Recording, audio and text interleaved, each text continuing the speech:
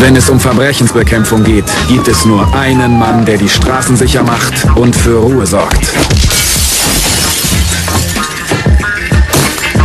In der Tat. Privatdetektiv Tialk, schon bald im Fernsehen. Eine super Idee. Ich bin mir nur nicht sicher, ob der Sender. Aber ich versuche es denen zu verkaufen. Und, und, und, und, und dann werden wir sehen, wie die dazu stehen. Oh, da, da, da muss ich kurz rangehen. Wir, wir reden nachher weiter. Hier, Marty, was liegt an?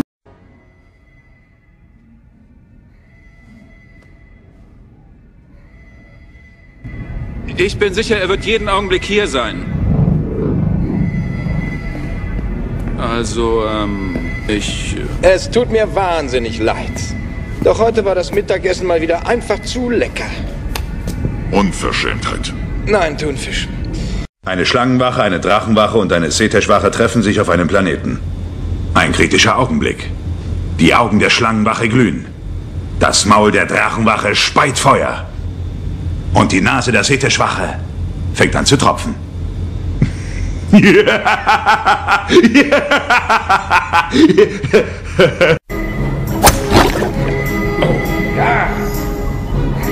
Den sehen wir nicht wieder.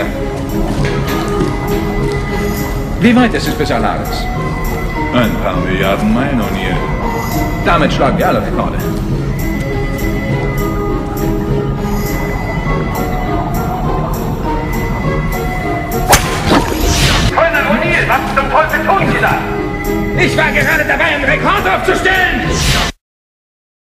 So schön bunt ist das. All die hübschen Esel. Wovon redet er? Ich habe ihm Morphium gespritzt. Ich muss wissen, wie viele Bewohner das Dorf hat. Wie weit ist das Gate vom Dorf entfernt? Haben Sie einen Kerl gesehen? Er sieht aus wie Sie, aber er hat verwuschelte Haare.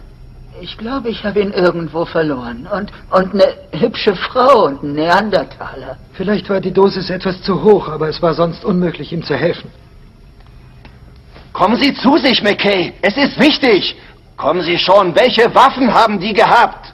Ich vermute welche, mit denen man Pfeile schießen kann. Verzeihung, wieso liege ich hier? Ein Pfeil, Rodney, in Ihrem Gluteus Maximus. Oh, tja, das klingt schmerzhaft. Gluteus Maximus. Gluteus Maximus. Oh mein Gott, das ist mein Arsch, nicht wahr? Ja. Rufen Sie mich, wenn er wieder... Tialk! Doc! Machen Sie die Tür auf! Tialk! Colonel O'Neill? Lucy, ich bin zu Hause. Ich bin nicht Lucy. Das weiß ich doch. Das war nur eine Anspielung auf ein... Schon gut, mach die Tür auf. Ich rufe die Ärztin. Nein, nein, komm schon, mir geht's gut. Ich bin wieder ich selbst. Mach jetzt auf. Ich kann nicht sicher sein, dass du du selbst bist. Du hast mich Lucy genannt. Das darf doch nicht wahr sein. Mach endlich die Tür auf.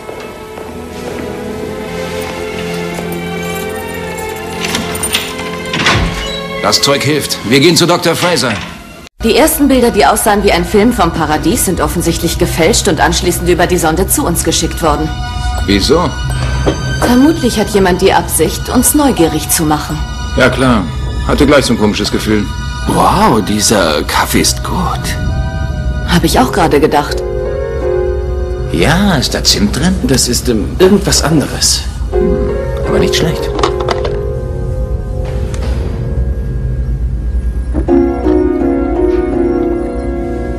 Tialk?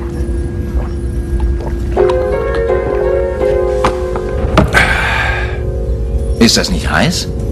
Extrem heiß.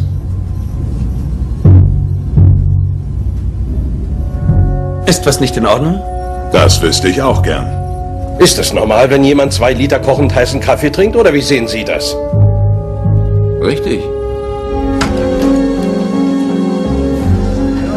Ich hab Hunger. Ich auch. Der Kuchen ist super.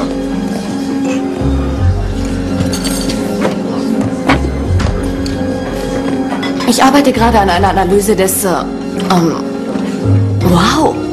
Allerdings. Der Kuchen hat einen glatt auf. Was macht ihn denn so besonders? Sieht aus wie immer. Hm, Schmeckt auch wie immer. Das sind lediglich animierte Figuren, O'Neill. Das ist so oberflächlich gedacht.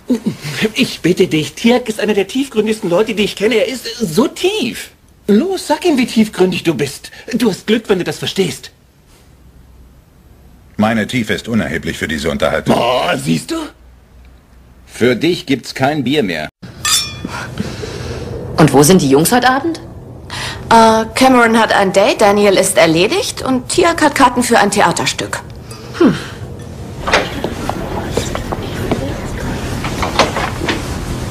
Meine Freundinnen und ich reden über viele Dinge. Es gibt nur ein Thema, das wir selten diskutieren. Unsere Vagina. Und ich habe mich gefragt, warum das so ist. Warum reden wir so selten über unsere Vagina? Warum sind Arbeit, Kinder, Urlaubspläne akzeptablere Gesprächsthemen als unsere eigene Vagina? Und mir fiel keine Antwort ein. Also beschloss ich, es herauszufinden. Ich fing an, über die Vagina zu reden. Auf der Arbeit, zu Hause, auch im Restaurant. Bald fingen auch meine Freundinnen an, über ihre Vagina zu sprechen. Und es war nur eine Frage der Zeit, bis es ein heißes Gesprächsthema wurde. Egal wo ich war, es ging nur Vagina hier, Vagina da. Vagina, Vagina, Vagina.